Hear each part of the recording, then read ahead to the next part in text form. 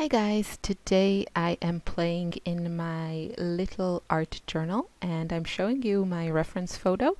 It's a photo from Pixabay, uh, which is a website with uh, free for commercial use uh, photos. And I looked actually specifically for uh, photos of Monument Valley uh, in the US. Um, I don't know, I had that in my mind. I felt like painting something like that. I've been to that place when I was 20. So many, many moons ago. Um, and I just felt like painting it. And I found this photo which um, had a nice composition. And it was actually, um, you know, rather simple. And I thought it would be a nice exercise. So I'm using here my limited palette and the colors are I used were the yellow is Sennelier Indian Yellow, um, that orangey red is Sennelier Rose Doré Madder Lake, and the turquoise is by Schmincke. Um, one of these days I'm going to find out the name of that turquoise. Okay, I went and checked because it annoyed me because I use it on pretty much everything and I can never remember the name. So, Schmincke calls their version of PG50, which is the pigment, um, they call it cobalt turquoise. In other brands, it's sometimes called cobalt teal. And that's what I used here for the sky. And then I added some more color to the front. You can see in the in the photo there's this really um, dark shadow uh, across the photo in the front. And I don't know, I think here things kind of started to go wrong. I I I'm including in this video both versions that I created and on the right side I was just playing with colors and color combinations. Um, I think it's actually a fun thing to uh, do in your journal you know, with one side kind of trying to figure out the colors and the mixes, and then the other side is the painting. Um, I can't say that I'm, you know, in love with uh, any of the two that I made, but it was some nice practice, and yeah, I'm not sure I have found uh, a style that I really connect with, and by that I mean, you know, the amount of details and the amount of layers, and how to get those uh, dark shadows, and how to not um, make certain things look very overworked, which is what I felt at some point that this was just starting to look uh, overworked. And should I add uh, black ink or not? Um, I have no idea. I I have to keep on painting. But this was a good exercise because the shapes were relatively simple, and um, yeah, you know, it just got me to work my brush and my hand and my um, drawing skills a little bit.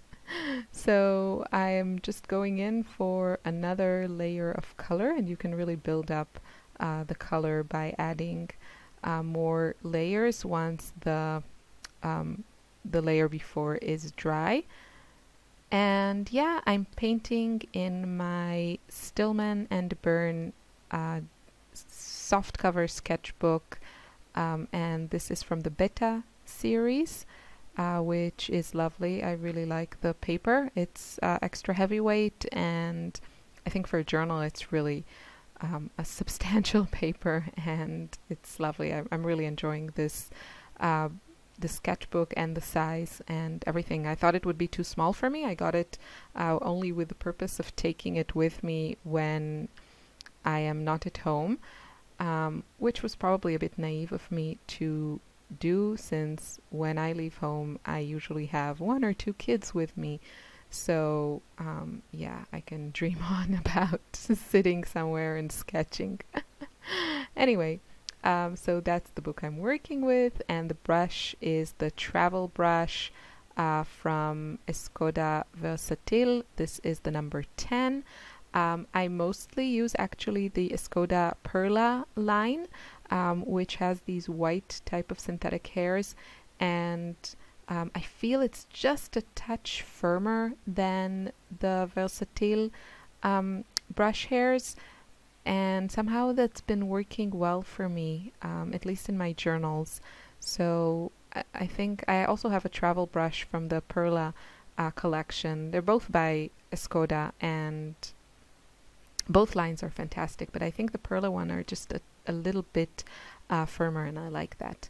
So everything is dry, and then I decided I didn't, I wasn't loving it. So I thought, you know, I can't really mess it up. Um, if it was something that I loved, maybe I would have just left it, but it was just okay for me. Wasn't too sure about the color choices, wasn't too sure about, you know, should I leave it, should I do something with it? I just didn't know. So I decided to sketch a little bit on top of it with my uh, fountain pen. This is a platinum pen. Uh, it has a fine nib and it's beautiful. The nice thing about this one which um, is not apparently it's not such an easy thing to find. Um, this comes with, excuse me, uh, waterproof ink once dry, um, and carbon ink, and it comes with cartridges of this type of ink. Now I have looked online and I know that there are other pens that work with um, this type of ink. But you know, for people who are using watercolors and um, and want a waterproof ink, that's kind of a big deal. And if you like fountain pens, then sometimes it's tricky to find waterproof ink that comes in already in a cartridge and uh, not in a bottle. So, you know, when you have a bottle, you need a converter, and then there are all kinds of ways where you can um, fill your pen, and it's a whole thing that I don't feel like I want to get into. So uh, I might get uh, another pen that works with these refills, but maybe with a, a slightly thicker uh, nib. The the one that I have, I love it, but it's a touch um, too fine for me sometimes. I feel. Anyway, I decided to give this another go and I thought it would be fun to have both versions in the same video. And this time I started with my sketch. You can see super simple. I think it's a great uh, practice subject. Um, you know, not too much detail. You can't really mess it up because you can't really mess up the proportions here. You know, something like a street or a house is more easy to mess up or definitely a face, but this is just a bunch of rocks and, um, you know, no offense to the amazing Monument Valley, but I found it, I think, kind of easy to sketch. So then I decided, okay, I'm gonna try some other colors. And what you see on your screen now on the right side, that wheel of fortune, is what I like to call, what I fondly like to call my psychotic watercolor palette and I love it. Um, I will link you to these. This one is the particularly psychotic one that has, I don't know, like a million wells, but there are smaller ones. And it comes also on, you know, a Lazy Susan, I think it's called. I always find that found that funny, um, the name. And so you can turn it very easily, and um, I love it. I have a lot of watercolors and I don't want to have to choose. I don't use so many watercolors in one painting, but I like having, you know, having them out in the open nearby where I can easily uh, grab them if I do want to use them.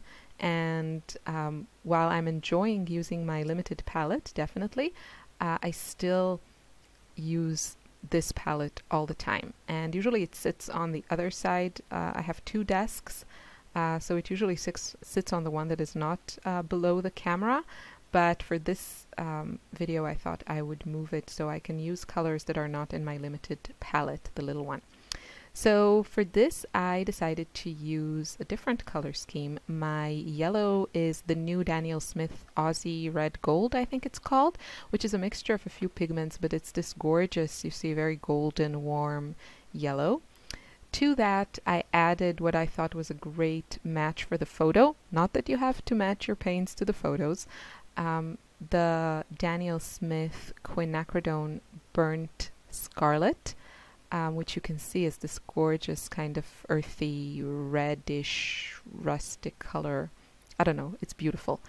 And then for my blue, I went with Qor um, with the cerulean blue from Qor, and it came in one of the sets. I don't have single tubes from Qor because they are uh, very expensive, but the sets are well priced. And what's nice about the Qor paints is that they really push aside other paints and they spread uh, very nicely. Not all of their paints, but many of them.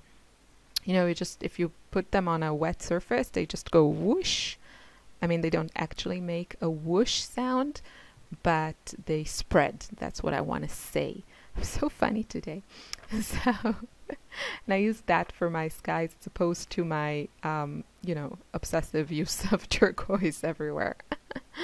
and I like it, but you know, this, t- like, this um, sketch is okay.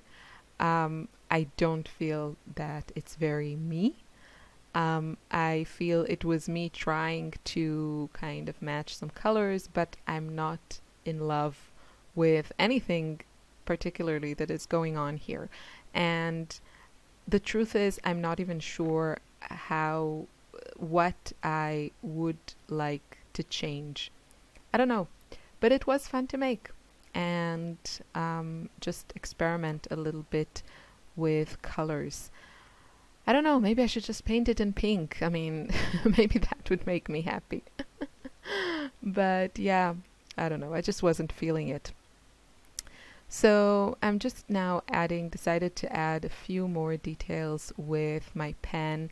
I do like that. I like, I like the combination of watercolor and uh, pens um, especially black ink. I like that contrast, but I think I like it when the watercolor part is actually very, um, you know, minimalistic and kind of free and uh, probably not so dark.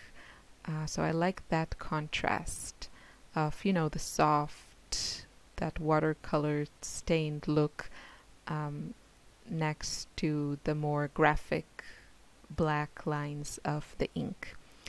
So I'm just trying to add shadows and that's at least the nice thing about using a reference photo. You know, you have a, you don't have to imagine these things and not that there's anything wrong with imagining. I mean, if you can draw beautiful things from your mind, that's amazing. But for me, I can't well, I can't. I certain things I can come up with, but you know, such a thing with the complexities of where the shadows would be that's not something I have the skill to do, at least at this point. So it's really nice to have uh, a reference photo. And again, in this photo, I um, edited it on Photoshop, kind of enhanced the colors uh, to make it more appealing to me so that I would like to paint with it more. now, uh, hopefully I will remember to link you to everything I used here, including the psychotic palette, and um, no offense, you know, to psychosis, it's a serious business. I just, I, I mean it as a joke that um, it's a little bit over the top, my palette, but I love it. so that's it. I hope you enjoyed this video. Thanks for watching. Bye.